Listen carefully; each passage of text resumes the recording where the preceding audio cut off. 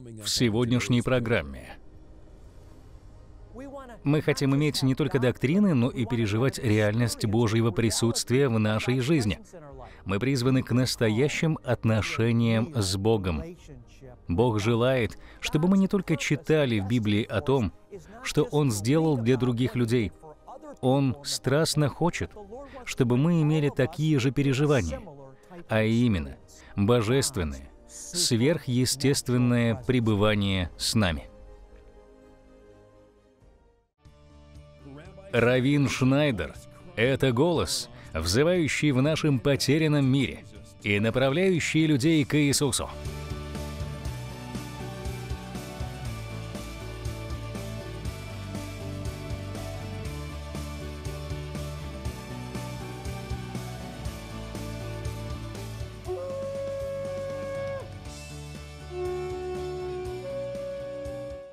Шалом, я Синтия, жена Равина. Я молюсь о том, чтобы Бог Отец коснулся вас сегодня и благословил во время проповеди и учения Равина Шнайдера. Божьих благословений, шалом вам, возлюбленные, меня зовут Равин Шнайдер. Добро пожаловать на программу «Узнавая еврейского Иисуса». Мы хотим иметь больше Божьего присутствия в нашей жизни, и поэтому я начал серию программ под названием «Божие сверхъестественное присутствие». Если вы любите Бога, то хотите переживать больше Его в своей жизни. Его пребывание сверхъестественно, потому что оно приходит к нам через Его Дух, который по определению является сверхъестественным. Мы говорим на эту тему уже несколько недель, и если вы пропустили какие-то выпуски, то посмотрите их, потому что в них говорится об основополагающих вещах. На прошлой неделе мы остановились на том, что иногда верующие, которые очень сильно жаждут ходить с Богом и знать Бога, могут быть разочарованы, если ожидают пережить Его и Его водительство через то, что происходит снаружи. Сатана тоже есть в мире и он может подделывать какие-то знаки и так называемые подтверждения от Господа. Хочу привести пример того, что может произойти, если человек не обращает внимания на внутреннее свидетельство Святого Духа и руководствуется только внешними обстоятельствами. Возможно, многие из вас узнают в этом примере себя, потому что я часто слышу подобные истории. Недавно я прочел историю одного человека, который много лет проработал на обычной работе, но последние несколько лет у него было чувство, что отец призывает его в служение полного времени. Он не хотел оставлять работу и переходить в служение, потому что не доверял Богу в вопросе финансов. Он думал, если я уйду с работы в служение, то не знаю, будут ли покрыты все мои нужды и что со мной будет. И несколько лет он не слушался Господа. Но со временем он сдался и принял решение оставить работу и пойти в служение. Знаете, что с ним произошло? Как только он решил уйти в служение, на работе ему предложили серьезное повышение. Он мог бы зарабатывать значительно больше денег. Предложение было очень заманчивым, и он мог бы подумать, это повышение — это подтверждение от Бога, что мне нужно остаться на работе. Но вместо того, чтобы обращать внимание на происходящее во внешнем мире, принимая это за подтверждение от Бога, он прислушался к внутреннему, сверхъестественному голосу Духа Святого. Он оставил работу, пошел в служение и оказал огромное влияние на мир через Евангелие. Как видите, вы не можете руководствоваться только своими обстоятельствами, иначе вас собьют с пути ложные знаки. Дьявол также действует в мире, и он способен обмануть избранных. Давайте продолжим говорить о том, как важно быть уверенными, что Иисус живет внутри нас, а также научиться тому, как быть чувствительными к внутреннему свидетельству Святого Духа. Лично я называю это интуитивным слушанием. Вы начинаете обращать внимание на то, чувствуете ли вы мир в данном вопросе или нет. Вы понимаете, что то, что вы чувствуете, зачастую верно. Я говорю «зачастую», не потому что иногда Дух Святой не прав, а иногда прав, а потому что мы всего лишь люди, И иногда мы можем неправильно все понять. Порою мы можем что-то неправильно истолковать. Но когда мы обращаем внимание на то, что Бог делает внутри, если мы чувствуем мир, значит это «да». Это четкое слово «да» внутри нас. Нужно обращать внимание на внутренние свидетельства, чтобы не быть перегруженными внешними проявлениями. Если мы обращаем внимание на внутреннее свидетельство Святого Духа, тогда мы будем успешно водимы сверхъестественным божественным царством. Иоанн писал, «Вы имеете помазание от святого и знаете все». Ключ к лучшему пониманию сверхъестественного, божественного царства в нашей жизни — это понимание тайны, которую Павел открыл нам в послании к Колосинам, а именно понимание о том, что Христос живет, Он находится внутри нас. Помните, в предыдущих программах я рассказывал о вещах, происходящих в мире, которые мешают нам осознать эту истину. А сейчас я хочу дать вам практические советы, которые помогут вам лучше осознавать пребывание Духа Божьего в вас. Если вы чувствуете, что Дух Святой с вами, это очень хорошо. Но также я хочу заметить, что вы должны развивать это хождение с Богом, с Духом Святым каждый день, и тогда сам Бог станет для вас реальностью.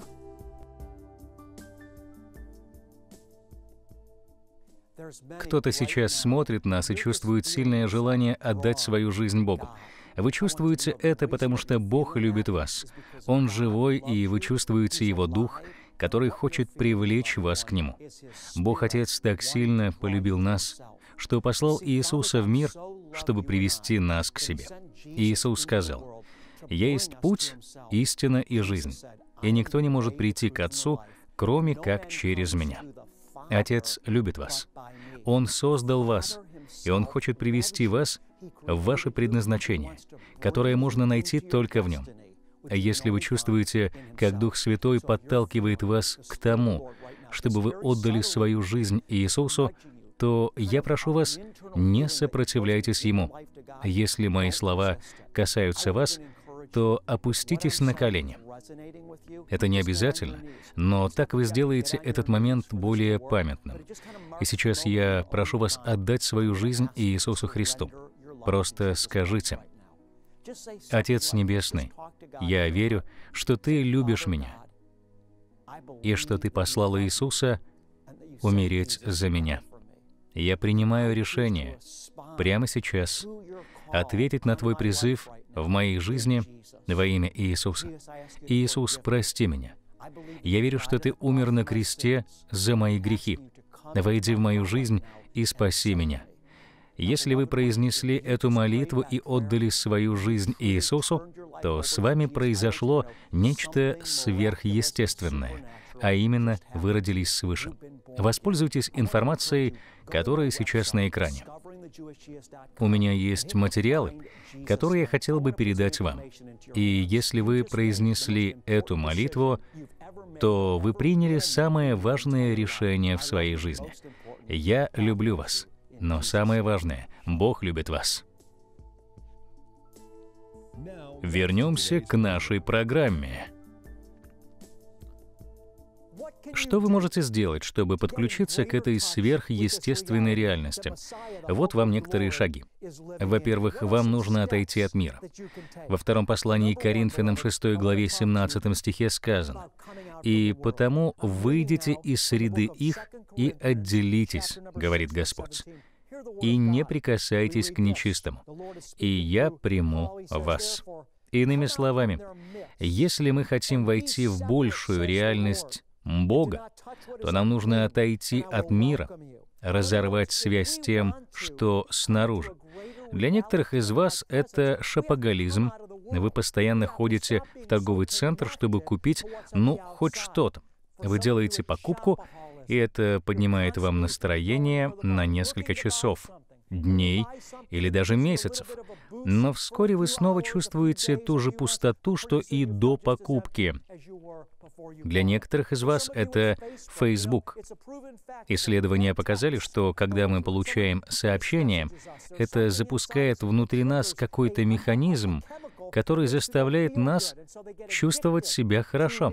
И мы можем пристраститься к такой стимуляции со стороны соцсетей. Многие люди сегодня зависимы от этого. И у одной женщины в нашей церкви было видение. Она увидела человека, из души которого выходили небольшие антенны. Эти антенны соединялись с внешним миром, с Фейсбуком, СМСками, Инстаграмом. И чем больше времени тот человек проводил в соцсетях, тем больше антенн выходило из его души, проходило через его разум и входило в псевдореальность. И со временем из души того человека выходило множество антенн, соединяющих его с Фейсбуком, Инстаграмом и многими другими подобными вещами. И он уже не понимал, что происходило в его душе и что делает Дух Святой. Бог вложил в человека свой дух, но вместо того, чтобы помнить об этом, человек был сконцентрирован на тех антеннах и утратил человеческое обличие. Именно это делает с нами окружающий мир. Он лишает нас человеческого обличия. Мы становимся безликими. Все эти вещи мешают нам быть чувствительными к сверхъестественному Богу в нашей жизни. Если же мы хотим быть водимыми Духом Святым и переживать Бога, то нам нужно, как сказал Павел, отойти от мира. Как это сделать? Мы устанавливаем границы. Мы не спим с телефоном под подушкой, чтобы не пропустить сообщение, которое может прийти к нам в 3 часа ночи. Мы не должны первым делом проверять утром телефон, чтобы увидеть, кто написал нам сообщение. Мы отходим от мира, отделяем себя для Бога. Нужно установить границы. Мы можем использовать технологии и соцсети, чтобы общаться с друзьями и близкими, но мы не позволяем им овладеть нами. Мы выходим из мира и устанавливаем границы в нашей жизни. Самое простое решение так это не проверяйте первым делом телефон, когда проснетесь, а проведите время с Богом. Сделайте себе чай или кофе и пойдите в специальное место, которое вы отделили для молитвы, и проведите время с Богом. Слушайте прославление, читайте Слово, читайте другие книги, вдохновленные Господом, и это поможет вам войти в сферу сверхъестественного. Начните свой день с того, что поставите Бога на первое место. Не делайте себя рабом этого мира. Отойдите от мира. Об этом же принципе говорится в еврейском писании. Во-вторых, перестаньте бежать. Почему? Многие из нас бегут ко всем этим вещам в мире, будь то соцсети, шопинг или отношения. Некоторым из нас постоянно нужно говорить с кем-то. Мы не можем оставаться наедине с собой. Почему мы это делаем? Потому что бежим от внутренней тревоги. Мы бежим от самих себя, чтобы скрыть тревогу, страх и смущение внутри. Мы пытаемся прикрыть все это и замаскировать какими-то мирскими вещами. Это очень похоже на то, что сделали Адам и Ева, когда они согрешили. Как только они согрешили, их отношения с Богом были нарушены. Они вдруг почувствовали неуверенность в себе. Они почувствовали себя сбитыми с толку и весьма напуганными. И что же они сделали? Вместо того, чтобы прийти к Богу, они попытались убежать от своих чувств и прикрылись смоковными листьями. Реакция Адама и Евы на их чувство незащищенности была странной. Им стало некомфортно в собственном теле. Они же и до этого были нагими. Им было комфортно? Но когда они согрешили, от этого им стало некомфортно. Изменилась точка зрения взгляда на себя, изменилось их мышление. Давайте прочтем эту историю в книге Брешит или Бытие, третья глава, седьмой и десятый стихи. «И открылись глаза у них обоих, и узнали они, что наги, и сшили смоковные листья, и сделали себе опоясание.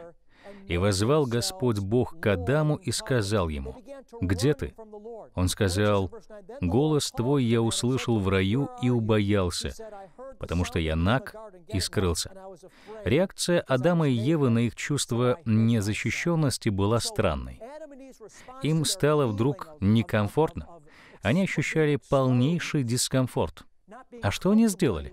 Они решили бежать. Они думали, что смогут убежать от этого чувства. Они попытались его прикрыть листьями смоковницы. Сегодня мы делаем то же самое, но не с фиговыми листьями, а с помощью телевидения, постоянного общения с разными людьми. Но вот в чем проблема. Все это не работает. Куда бы вы ни шли, вы не можете уйти от себя. Вы не можете убежать от себя. Поэтому нам нужно перестать бежать, прислушаться и вернуться к Богу, как сделали Адам и Ева, когда Господь начал их искать.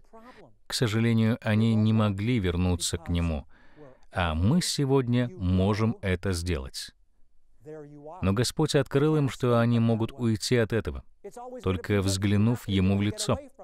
Мы говорили о том, что нужно отойти от мира — Затем нужно перестать бежать. А следующий шаг — это быть спокойными перед Господом. «Остановитесь и познайте, что я Бог». Так написано в 45-м псалме. Нам нужно успокоить свою душу. Давид сказал, «Но смирял и успокаивал свою душу, как ребенка, отнятого от материнской груди я успокаивал душу свою. Мы должны успокаивать нашу душу. Нам нужно перестать волноваться и прикрывать свои чувства. Нам нужно проводить время, сидя перед Богом. Да, это некомфортно, и нужно себя дисциплинировать, но это единственный способ стать целостными. Это единственный способ, как Отец может заложить в нас свое основание. Пока мы бежим и пытаемся прикрыть свою наготу, мы не сможем стать целостными. Нам нужно перестать бегать и успокоиться перед Господом. В древнем мире люди могли успокоиться, потому что тогда не было столько всего вокруг, отвлекающих факторов. Когда Давид был пастухом, он научился быть водимым Духом Святым, потому что знал, как успокоиться перед Господом. Много лет назад Бог проговорил ко мне во сне. Во сне я был в простой комнате. В ней не было ничего, только простой стол, один стул с одной стороны стола, другой стул с другой стороны и открытое окно, через которое можно было смотреть наружу. Очень простая обстановка. Я сижу за столом, а напротив меня сидит кто-то еще. Я знал лишь то, что этот человек был хорошо мне знаком. Я не видел его лица, но чувствовал, что напротив меня сидит мой хороший друг. И во сне я понимал, что сижу в этой комнате за тем столом уже долгое время. Мне было очень сложно усидеть там. Мне сложно было сидеть спокойно. Я посмотрел в окно и захотел уйти из той комнаты. Я хотел выйти наружу и что-то сделать.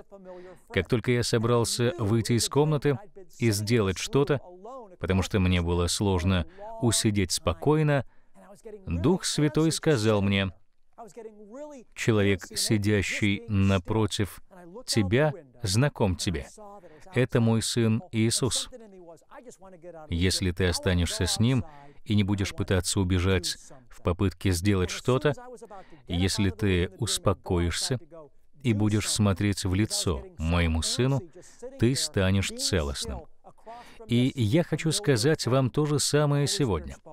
Все, кто смотрит нас ныне, хотят переживать больше сверхъестественного от Бога, больше самого Иисуса. Мы хотим сильнее переживать Духа Святого. Но это не может произойти само собой, если мы постоянно убегаем в мир. Нам нужно отойти от мира, противостать и убежать от всего, что не от Бога. Сесть перед Богом и успокоиться. Если вы будете практиковать эти вещи, то произойдет сверхъестественная трансформация. Истины, которыми я делюсь с вами, я не прочел в книгах. Я сам начал практиковать их более 20 лет тому назад. Я хочу, чтобы вы знали, что этот процесс медленный, болезненный, но вещи, которыми я делюсь, реальны, сверхъестественны и абсолютно действенны. Бог желает делать в вашей жизни значительно больше, чем то, что вы переживаете сейчас. Но для этого вам нужно сотрудничать с Духом Святым. Павел сказал, что дисциплинировать тело, конечно же, полезно, но дисциплинировать дух еще полезней, потому что это благословит не только ваше будущее, но и настоящее. Ключ к лучшему пониманию сверхъестественного Божьего в нашей жизни — это понимание тайны, которую Павел открыл нам в послании к Колосинам, о том, что Христос живет внутри нас — Возлюбленные, давайте следовать за Ним и делать нашу часть работы.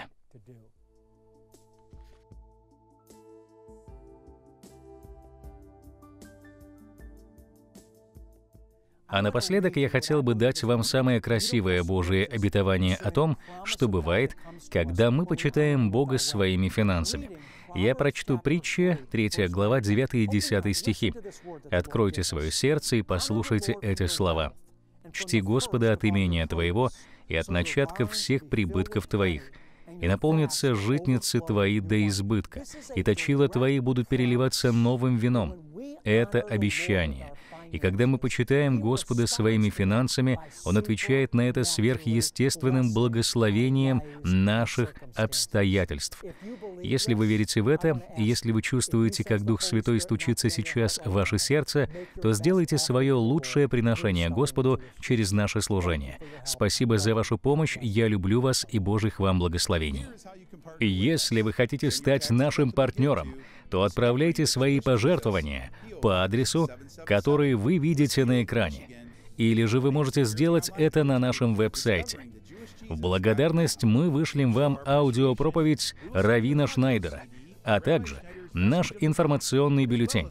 Чтобы больше узнать об этом служении, а также ознакомиться с материалами, написанными Равином Шнайдером и мессианской музыкой от Джошуа Джеймса, заходите на наш сайт.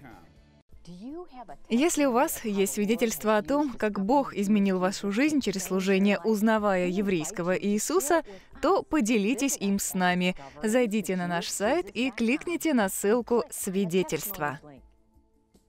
Равин, я сегодня приняла Иисуса, и я хочу поблагодарить вас за ваши молитвы за меня и мою семью. Я была потеряна много-много лет, но после того, как я какое-то время слушала и смотрела ваши проповеди, я наконец-то увидела свет во тьме, который я позволила поглотить меня. Впереди меня ждет долгий путь, и я буду стараться всеми фибрами своей души читать и понимать удивительное Слово Божье — Огромное вам спасибо, Джоди из Северной Каролины. Мы рады, что вы смотрели нас сегодня, и мы хотим помолиться за вас. Присылайте нам свои молитвенные просьбы по почте или посетив наш веб-сайт. Мы также хотим поблагодарить вас за вашу финансовую поддержку. Поддерживая наше служение, вы становитесь партнером Бога в построении Его Царства. Спасибо вам, и пусть Отец воздаст вам за вашу щедрость и вашу верность. Будьте благословенны. С самого начала человечество стремилось познать истинную природу реальности. Соединение с нашим Творцом в его сверхъестественной силе — это вершина человеческого существования. Пропитайте свою жизнь его сверхъестественной силой. Ожидание и переживание сверхъестественного может стать обычной жизнью для вас. Именно так Бог — хочет общаться с вами. В книге «Переживание сверхъестественного» Равин Шнайдер поможет вам открыть много способов того, как вы можете жить сверхъестественно. Закажите свой экземпляр этой книги прямо сейчас.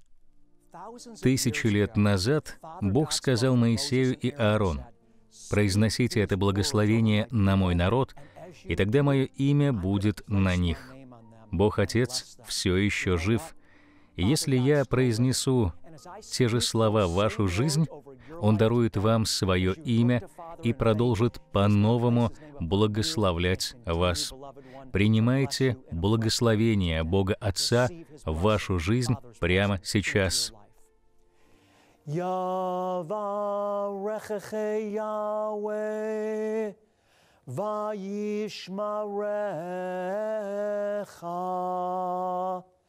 Ya'er Yahweh panavelecha vichunecha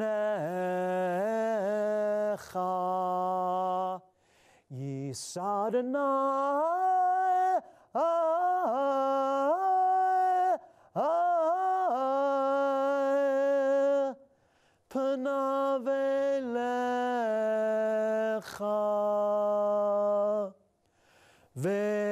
Hashem lecha.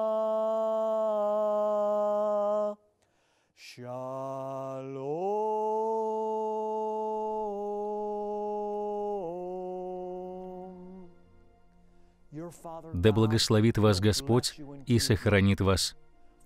Да озарит вас Господь светом лица своего и будет милостив к вам. Да обратит Господь к вам лицо свое, и да дарует вам свой мир, свой совершенный шалом. Смотрите программу «Узнавая еврейского Иисуса» как хотите и где хотите – Просматривайте на Фейсбуке еженедельные послания Равина «Семена откровения». Смотрите полные выпуски на YouTube.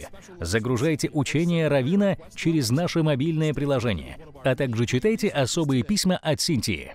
Если вам понравился первый сезон серии наших программ, то вы можете найти его на нашем веб-сайте или позвонить по номеру, который сейчас на вашем экране.